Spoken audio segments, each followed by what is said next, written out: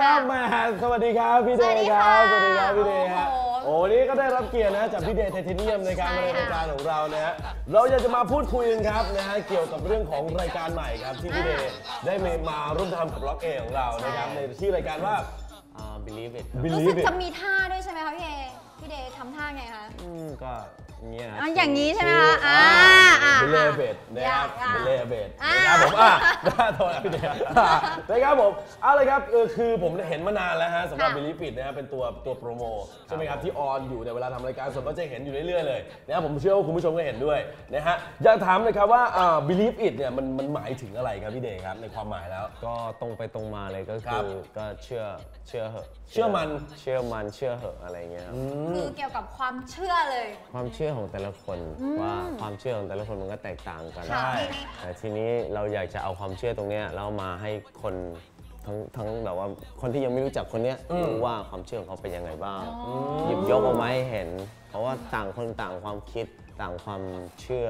ต่างคนก็ต่างทำงานอย่างคนละใช่ใช่ แบบอย่างอะนะ พอคนเราทำงานแต่ละแบบก็จะมีความเชื่อเหมือนกันไงใช่ใช่ไหมใช่ บางคนอย่างแอมก็มีความเชื่อแบบหนึ่งพี่เดชก็มีความเชื่อแบบหนึ่งใช่นะฮะค่ะ แต่ว่ายังไงก็ตามครับสำหรับชื่อรายการนี้เนี่ย believe it ครับ พี่เดย์ได้ชื่อรายการนี้มายังไงมาฮะยังไงแบบแบบนั่งนั่งคิดอยู่แบบเดี๋ยวไม่ได้ไม่ได้ไม่ได้มา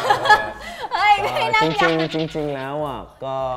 อ่าไม่ได้จะเป็นชื่อนี้จริงๆจะเป็นชื่อว่า street talk คืออะไรฮะ street talk street Street talk Talk คือคุยตามท้องถนนเป็นเหมือนคุยหใช่รือว่าไงฮะ ก็คือถนนคนทั่วไปที่อยู่ตามถนนอะไรก็จะเราก็อยากจะไปคุยด้วยอะไรอย่างเงี้ยจริงแค่แล้วเสร็จทีเนี้ยก็ไปดูว่าเฮ้ยอ้าวมีคนเอาไปแล้วนี่หว่าชื่อ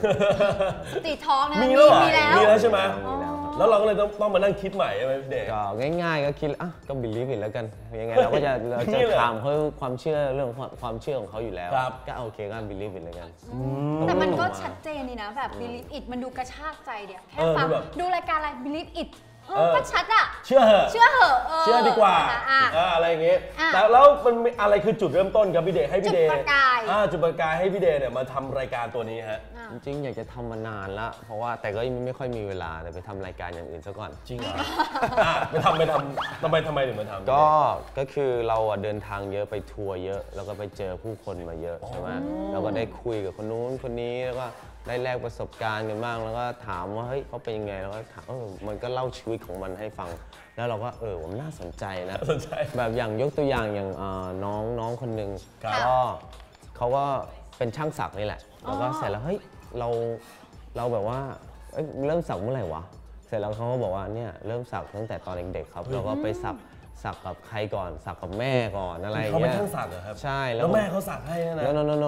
คือ แม่เขาให้เป็นอ่าเป็เขานเรียเหกมือนอะไรนะไปสักให้แม่ใช่ไปสักให้แม่อ๋อคือเขาเริ่มสัก เด็กๆก็เริ่มมีที่นี้แม่ด้วยเหรอ ใช่ใช่ก็เป็นอะไรที่มันน่าสนใจแล้วแบบเฮ้ยครับ ชีวิตคนมันถ้าเราคุยกับเขาแล้ว มันก็น่ามีอะไรน่าสนใจเยอะมาก แล้วคนที่แตกต่างอย่างเฮ้ยเป็นช่างสักธรรมดาและเด็กธรรมดาอย่างเงี้ยแต่เรื่องราวเขาน่าสนใจอะแปลกอะทำไมอยู่ดีแม่เฮ้ยมาสักฉันสิเพื่อจะแบบว่านั่นดิ คือมันแปลกมากคือทุกทีถ้าพูดถึงผู้ปกครองเนี่ยเขาจะไม่ค่อยไม่ค่อยเห็นด้วยเท่าไหร่กับเรื่องแบบนี้ใช่อะจ่อหูนี่แทบไม่ได้ออกจากบ้านเลยนะถ้าเป็นลูกคนจีนเนี่ยใช่ใช่ครับแล้วนี่คือเรื่องสักครับสักแต่ว่าแม่คนเป็นแม่กลับให้ลูกตัวเองเหมือนแบบอารมณ์เหมือนแม่ได้เป็นหนูทดลองให้กับลูกด้วยซ้ำในการที่แบบลอง ก็คือ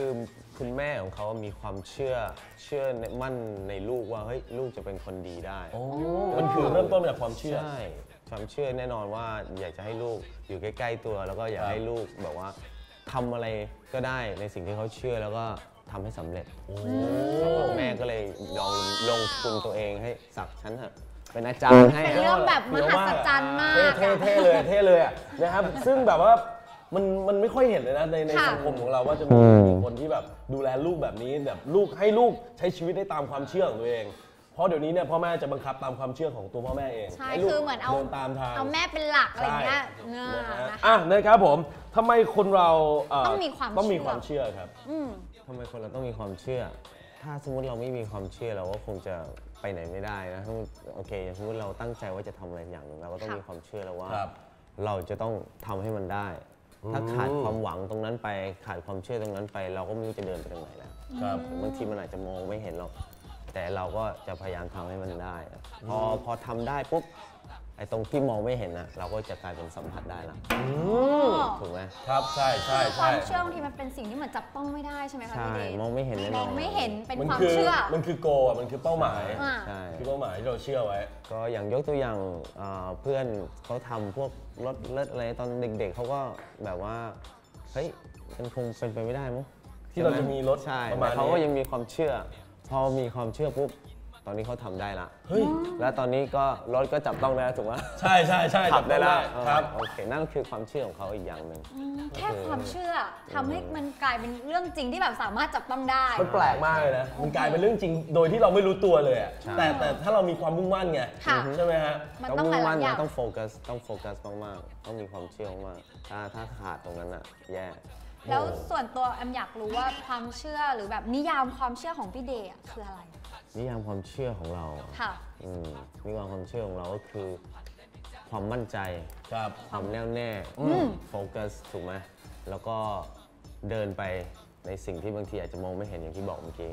แต่เราก็ยังจะทำเพราะว่าเรามีความเชื่ออและมีความฝันของครัเราบที่จะทำให้ได้นั่นก็เป็นนิยามนั่นคือนิยามความเชื่อของแต่ละคน ใช่ใช่ไหมฮะแล้แล้ววคคิวาดมว่าเชื่อของ ครับของ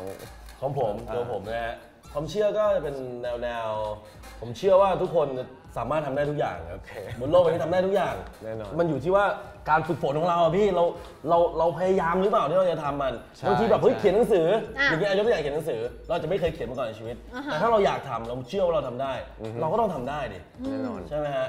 เนี่ยฮะคือความเชื่อต้องสำหรับแอมความเชื่อคืออะไร ความเชื่อสำหรับแอมแอมแอมส่วนตัวนะคะแอมคิดว่ามันอาจจะเป็นเหมือนสิ่งที่ผลักให้เราไป ถึงเป้าหมายที่เราต้องการ ถูกต้อง คือบางครั้งแบบความเชื่อแต่ละคนไม่รู้ยังไง แต่ถ้าสมมุติคนคนหนึงมีความเชื่อว่าเนี่ยเป้าหมายเราเป็นอย่างเงี้ยอือฮึแล้วเราสามารถทำได้ใช่เพียงแค่ไอเนี้ยเหมือนเป็นแรงถีบเราไปใช่ประมาณนั้นทุกคนมันก็จะมีคำว่า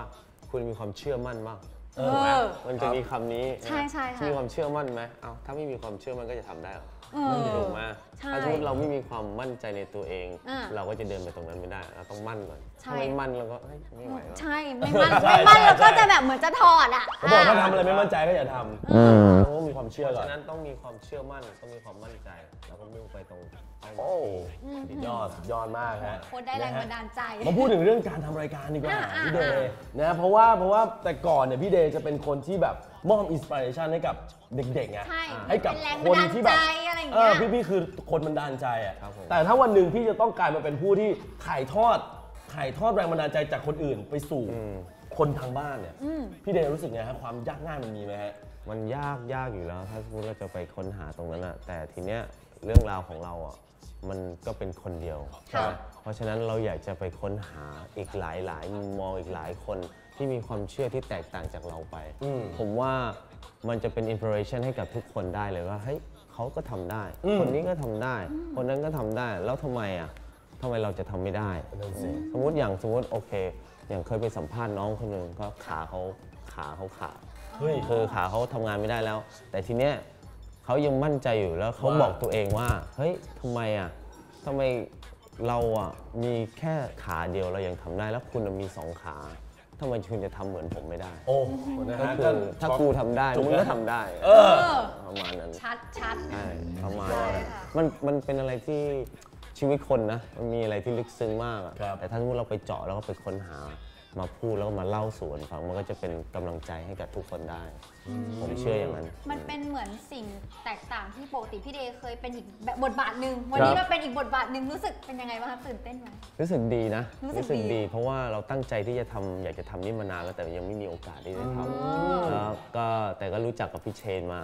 สักพักหนึ่งแล้ว ครับ อ่า ก็บอกเขาว่าอยากจะทำอยากจะทำแต่ก็ยังไม่มีเวลาสักทีค่ะแต่ทีเนี้ยถ้าสมมติเราไม่ทำตรงตอนเนี้ย